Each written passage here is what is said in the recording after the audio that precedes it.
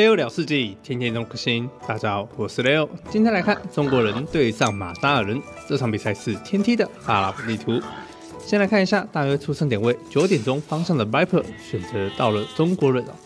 中国人开局呢，村民数会多三村哦，但是食物会直接归零，需要先把找到的民谣先放到城镇中心里，全体开吃哦。那以前的版本中国人哦，开局还是需要盖房子哦，但现在房子呢是由城镇中心直接给到十五人口，所以就不用再有盖房子的问题了。城镇中心的闲置哦，会跟以前比起来稍微短一点哦。那 Viper 这边是来到了十八秒，还算是可以接受啊。虽然不是最短的秒数，但是十八秒我觉得还可以啊。那通常中国人这个能力呢，开局时啊，这个村民数领先大概是领先一分一呃一村半左右的这个村民数啊，并不是真的就是直接加对手三村的感觉啊。那中国人呢，他是一个三攻三防全都有的文明哦，啊全都有，但是都没有特殊能力啊，这是比较尴尬的地方啊。他有轻骑兵，但是没有游侠，但是有重装马弓跟拇指环，没有安线人战术。主要还是比较偏工兵的文明啊。那步兵方面比较尴尬的是，他没有软甲啊，也没有这个攻击，所以打正兵勇士会稍微贵一点。主要还是要出枪兵，配上中国连弩啊，会比较适合一点啊。那他的弩炮呢，点一下火箭技术之后呢，就可以让弩炮伤害再更高一点。整体来说，中国就是什么都有，但什么都不强啊啊，除了强弩啊，强弩可能还还不错啊，长城还不错。好，那接下来看一下哈特这边的马扎尔人哈。那马扎尔人的打法比较偏向骑兵路线哦，他有免费的义工伤害的关系哦，前期不管是要出枪兵还是出肉马哦，都可以获得一个小小的优势哦。但他的这一点能力哦，也算是呃唯一的优点哦啊。扎来呢他没有任何的经济加成，前期就只能靠这个义工打出自己的前期优势哦。中后期没有任何经济加成，要到后期大反曲攻之后出来哦，才会有更多的优势哦。总体来说，马扎人还是要偏向自己的骑兵跟马弓路线哦，玩起来其实有点像凶人，但是他要比凶人还要强啊。大后期的时候多了一个凶人的三防啊，这个马工兵三防，所以呢，后期的工兵路线哦，也可以考虑用战矛兵去反制敌人，但最大的缺点呢，还是没有经济加成啊。那我们接下来看一下两边的地图。那地图方面，目前看起来，Hut 这边是有一点点尴尬啊，两个黄金都是偏靠前正面，但是不是完全正面的，是有点偏侧面的位置啊。那主建部分在这里还行，但问题是这张地图很难围啊，看是不是要直接小围了啊，直接这样子围过来，好拉到底。好或者是这边拉到底，好，或者是这边 T C 联防，好，呃，这里围过来，好，围过来，好，的这个地方可能就要找个机会守一下啊。那 Viper 这边地图看起来也不是很好，尤其是这一块金哦，太前面了，太前面。那它的木头区呢，跟 Hart 其实差不多，都是一个比较尴尬的位置啊。能用的牧区好像只有这一片了，这一片应该也是能用，但是这里要考虑怎么围起来才行哈。这里要围到底啊。那中国人前期打法还是可以选择肉马开局，也是适合的，因为它有这个农田十 percent 的团队加成啊，这个农田的肉类啊，所以前期其实打肉马开也是适合，肉马转工兵啊，是一个很好的一个策略啊。那这边就要看白牌要不要点下一级农田了。我是觉得一级农点下去的话，对于中国来说优势更大一点啊。晚点了，因为这个优势呢会因为他的团队加成而而再继续 buff 上去哦。我们看到他这一片田哦，哇，可以来到二七五哈，二七五，啊，二七五片田。农田的肉量还是比较稳定一点的啊，肉可以吃更久一点，这样对它的加成会更有优势。那后面再转工兵啊，也是 OK 的啊。那前期呢打法还是要靠落马去打出自己的节奏，但是 Viper 这边点一农就意味着自己啊啊一定是走一个开农路线。那前期对方的落马数量可能会有所优势啊，所以这边枪兵哦基本上不太能断。好，结果 Hart 直接用落马砍死了三只枪兵。好，这里直接手撕村民不严，这就是义工伤害的优势，直接强夺村民啊，非常的凶啊！这就是马扎人，啊，非常的可怕。所以 Viper 这边可能要尽可能把自己的资源点给围起来啊，然后按更多的枪兵去防守，可能会更好一些。好，哈特现在是肉马按到六只哦。因为马扎人这边肉马呢是有，哎，这种停下来，结果没盖好，Viper 这边失误，吐了，又一村被拿下，Viper 开局的村民优势现在已经归零了，啊，这边刚刚把自己围起来啊，结果围起来没有继续盖，好，这应该是 Viper 的一个操作失误，好，肉马这边开始稍微绕一下，那马扎人的肉马呢，还有这个折扣上的加成啊。所以他的落马在前期出的是相当轻松啊，也可以说是他是打落马成型速度最快的文明啊。前期的部分啊，所以呢，这个马扎尔啊，他的打法会比较注重在前期的部分落马战啊，反而不是他的马攻战。哎，结果 Viper 这边枪兵戳到了一枪，好不错，小赚小赚啊。啊，小赚了一下落马，下面的枪兵要小心，后面回头跟自己的后面的落马部队集合一下。结果这一只落马虽然送掉了，又赚到了一村。现在哈特来到了三村的优势啊。那 Viper 这边开始要转工兵，落马稍微挡一下，哎呦，直接反杀了一只落马。好，这个落马走出来，Viper 这个落马挡得很好，直接窜出来，打了哈特大量的落马血量。好，现在落马血量已经残掉了，哈特这边想要偷点城堡时代，有这个机会吗？看到 Viper 这边这么多的落马，这边要硬点城堡时代的话，有点风险，但不点也不行啊。好，来看一下这一波，落马回家防守，后面补了一个箭塔，打的还算是。比较谨慎一点啊，并没有因为自己要生城堡时代而就大意啊。因为自己生城堡时代其实才是最危险的时候，就算你是领先升级啊，你也不会有太大的防守优势啊。补一个箭塔确实可以安心。那枪兵的部分看要不要继续按啊？按到个五只左右啊。对方有七只肉马，那 Viper Heart 可能也要 考虑按个五六只左右，会比较安全一点啊。好，Viper 这边还点下了品种一攻，这里一副就是我要直接杀进去了，哇，枪兵差一点被射到，还好没事。来看一下 Viper 这一波的操作了，好，工兵开始在骚扰牧区，Hart 这边在准备归到城堡时代，好，杀了进去，这一波落马。想要阻止村民离开，但村民第一时间防守，往回拉，枪兵往前戳，Viper 工兵第一时间射倒了枪兵。哈特这里落马想要往前，但是被村民卡住，有些落马在后面，有种尴尬的感觉，想拉落马打架，但是又拉到村民。但这边落马一往前，落马显然是残的。那现在哈特为什么这样做呢？是因为他想用箭塔这个伤害去补足自己的劣势啊。兵力劣势，那现在只要兵力差不多了，就可以开始往前了。先把工兵解决掉，啊，工兵解决掉，落马往前，枪兵在前面坦了一下，工兵想要点枪兵，但枪兵数量有点多，点不完。Viper 这一波还是打出了优势，Hart 这边硬点下了品种，待会骑士一出来就能扛得住。但是 Hart 这边村民数已经有在下降，而且自己的部队快要被搞光了。OK，但是哈特还是成功挡下了 Viper 的这一波强攻。好，两边都是死了三村。好，可以看到哈特这边的经济已经炸裂，资源落后已经来到了一千三百资源啊，一千三百资源。马扎人最大的问题就是经济太差了啊，经济太差了。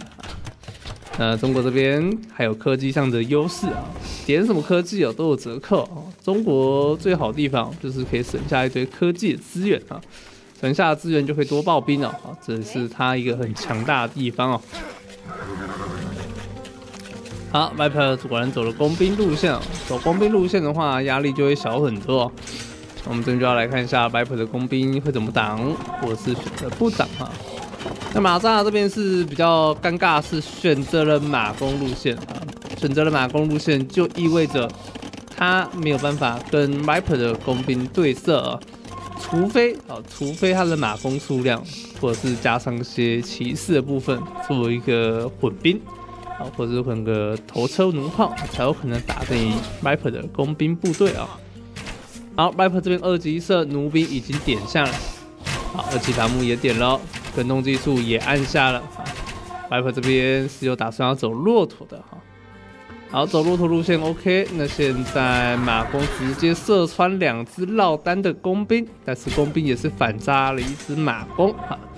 那 hat 这边大学要赶快及时补下，所以我们要来看一下 hat 哪时候会补大学哈。大家来到二十几只数量时候，大学就要来补。呃，Viper 这边也要早点补下弹道血。好，可以看到我们已经补了一个大血了。弩兵已经走到了前面，哎呦，但是这里有箭塔，还有箭塔啊！箭塔走了过来，好，看到箭塔，我们选择跑掉。哈特这边马蜂还在持续骚扰，抓到了一村，射掉了一片田，帮助哈特不要再来外面种田。把这个钱射掉，就不会往外种的问题。哎，结果这边弹道学还没有好，射的有破歪。哈特点下了二级的工兵铠甲。好，现在这一坨的工兵就会很麻烦了。你马弓上前跟他对射，也不会有太大的优势，可能是有五五开，或者是有点四六开的感觉。毕竟马弓的这个开火动画。也是比较吃吃力一点的哈。好，贴近对射，麦克这边在等拇指环。好，开弓动画让 Viper 一直有这个一发的箭矢伤害优势，但是马弓的血量很多，往上贴贴就完事了。OK，最后马弓还是掉了几批。那以成本上来说，Viper 还算是。比较省一点点的，马弓终究还是比较贵啊，所以我觉得这一波有点五五开，但是对于 Viper 来说，可能不是五开，而是六四开了。节奏来说，虽然把所有的工兵送掉，但是自己家里哦可以顺利的开下城镇中心，啊，弹道血已经好了啊，准备就绪。那对于接下来没有任何经济加成的马扎人，这里的兵力只要被拖到啊，或者是被挡下来。都会对他的进攻造成很不好的影响啊。好，Viper 这边优势慢慢扩大啊，工兵路线啊，你过来，我用少量弩兵直接点掉你的马弓啊，这是我们刚刚说到的这个优势的问题啊。那 Viper 这边这次出门的工兵数量是有点少的，只有七支的工兵啊，七支的工兵。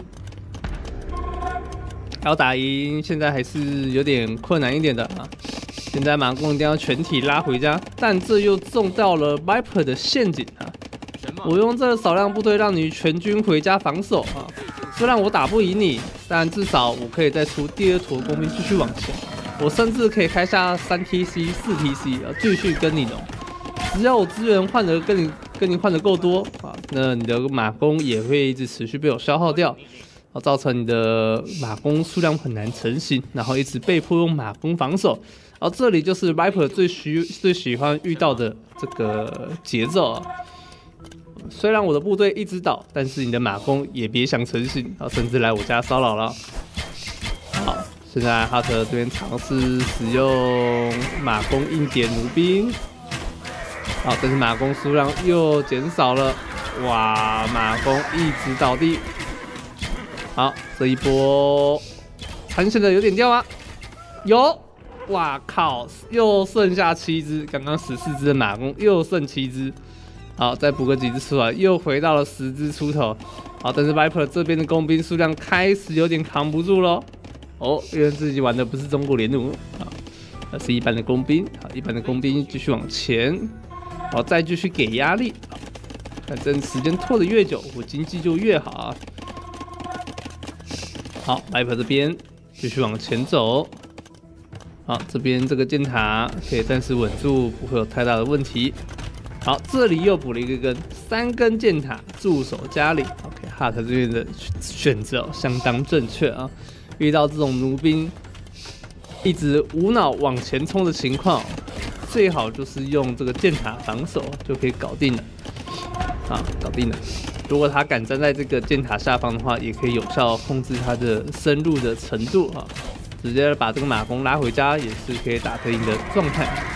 好，Viper 这边射倒了一些马弓，但是家里的工兵数量不够的关系，打得有点吃力。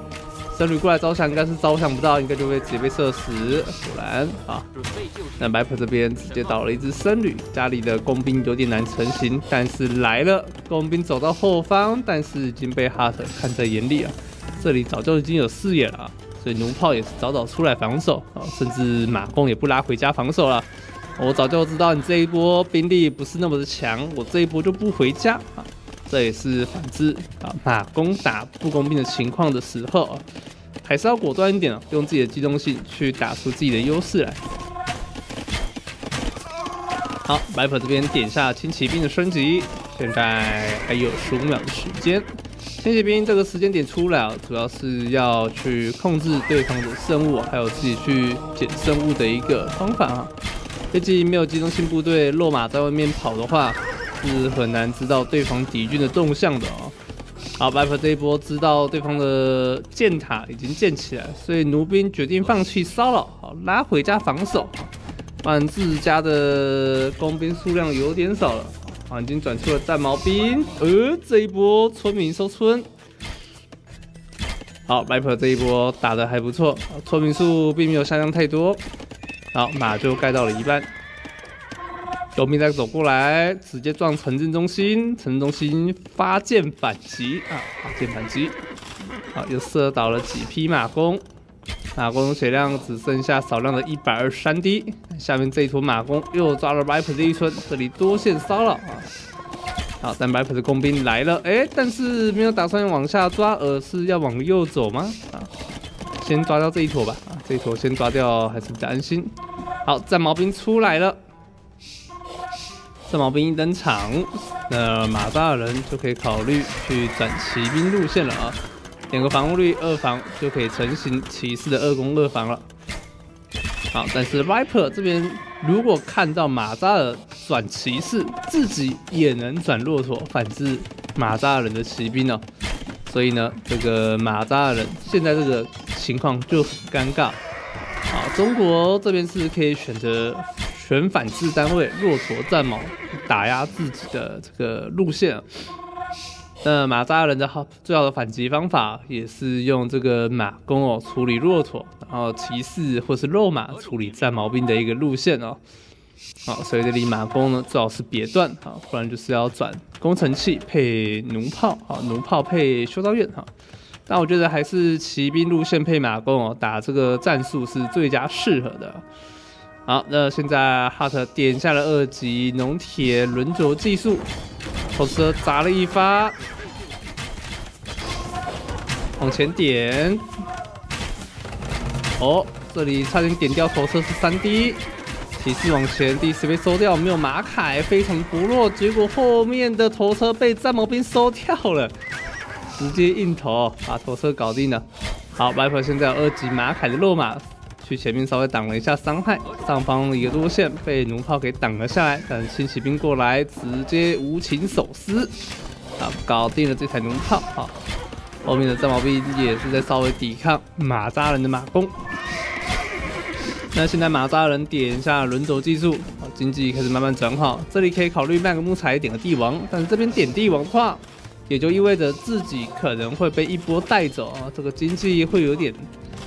有点炸裂，你没有那么多兵力防守家里是 OK 的吗？啊，但是哈特好像有点这个想法，卖了四百木头，点了换到两百六十块黄金。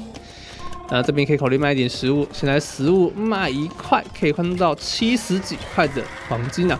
OK，硬点帝王，麦克应该有意识到你的分数有点低，那我就准备要来升帝王时代啊，你应该是升准备升帝王时代了。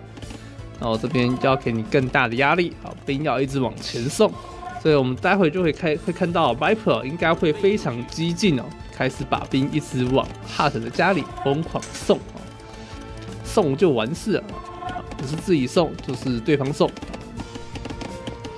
好，那接下来 Viper 要面临的是，待会马萨人可能会第一时间点下三级色的化学，还有反曲弓啊，这个马弓路线哦，应该先点下这些。那可能会晚点点下重装马弓哦，先升级大肉马，会对于马扎人的这个节奏会更好一些哦。那现在哈特现在非常注重经济哦，连手推车也都点下了啊，点的是打一个经济流派的马扎人玩法哈，而不是强攻一波流，因为现在这个时间点打一波流也没什么优势啊。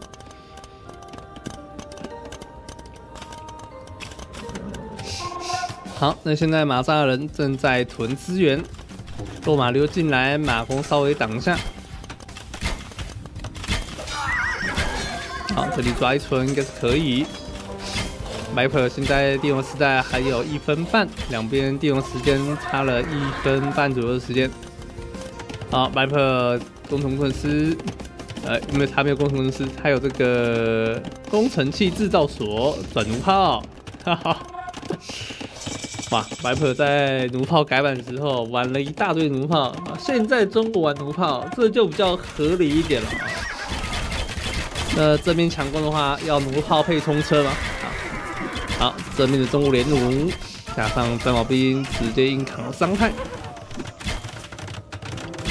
好，但是马扎人化学三级射点下了，好，没有先点反驱弓，而是先点马凯轻骑兵，落马果然开始升级。反驱弓的话要六百木头跟四百黄金，所以稍微卖下木头跟食物还是能点下的啊。现在黄金获取对于帕特来说相当重要，上面先补了一个城堡，但是 Viper 的巨型投石机待会也要出关了，两边巨头时间出来应该是差不多的时间点。好，现在木材价格比较便宜了，现在卖木材比较亏，卖肉的话又会影响到自己肉马的产量。所以哈特没有第一时间点下了反曲弓，先存个钱，等个反曲弓出来啊。好，有化学了，攻击力来到了十点，白婆点下冲车配三级射，来了，弩炮配冲车，这一招对抗马弓打法很有用，但是比较害怕骑士大量包夹，或者是落马直接包抄，全部搞定了。对，哈德克这边看到大量弩炮，一定要转出大落马了。现在反曲弓已经不是重点。好，这边头车过来，又抓到了 Viper 几村。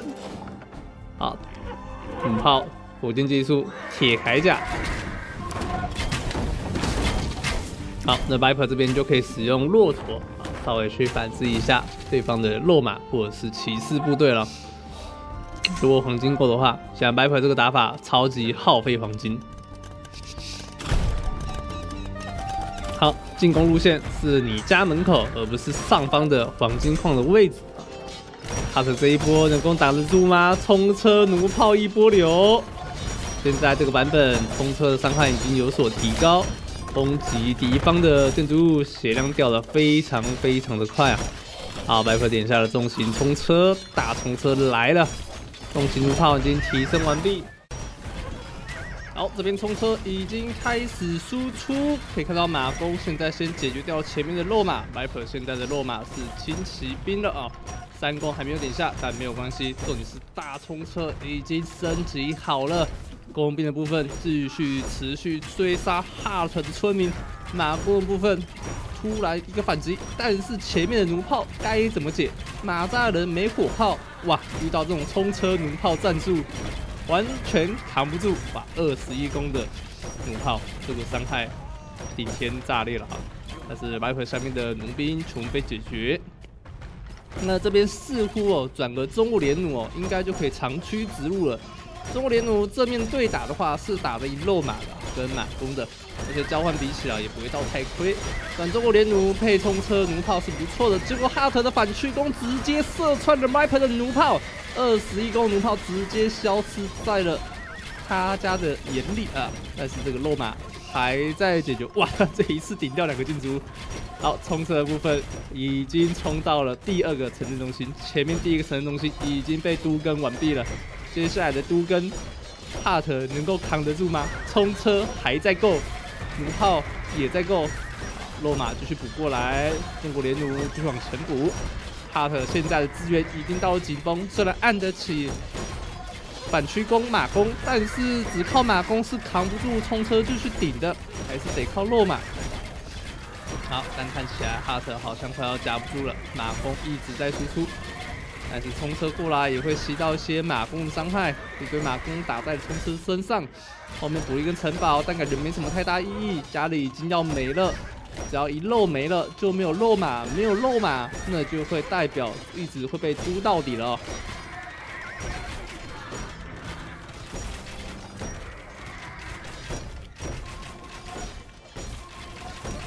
好，冲车再把这个金塔给拔掉，阿特打出了 GG，我们恭喜 Viper 拿下比赛的胜利。哇，这场比赛打得十分精彩哦。哈特最后的反曲弓有出来，但是落马没有办法及时升到大落马，所以这个战场的坦度还是有所差距哦。那我觉得蛮可惜的一点是哦，这个没有点出标骑兵哦。如果马扎人有点出标骑兵保兵单位的话就可以哦。但是 Viper 的进攻时间点哦实在是打得太好了，这一一打让他的肉完全没有办法起来哦，这个肉起不来就点不下银冠哦，甚至量产马扎的标骑兵哦。城堡的话也只剩下一栋哦，只能去铲。虽然 Viper 这帮城堡已经倒了，但是至少自己如果能铲出标骑兵的话，后面农田再撒多一点哦，及时转出城堡来哦，可能还有点机会哦。但我觉得机会是不大了哈。Viper 这一波进攻实在是太突然了，而且这个威力有够猛。好了，那我们今天影片就差不多到这了。那如果喜欢这部影片的话，请记得把下订阅。我们就下次再见喽，各位，拜拜。